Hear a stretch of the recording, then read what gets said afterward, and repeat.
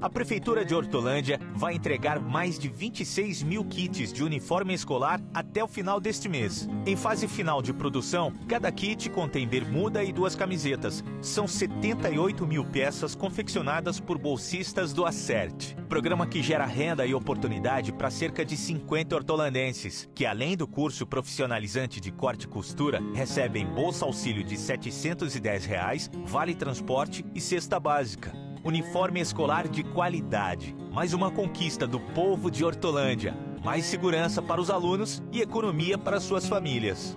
Prefeitura de Hortolândia.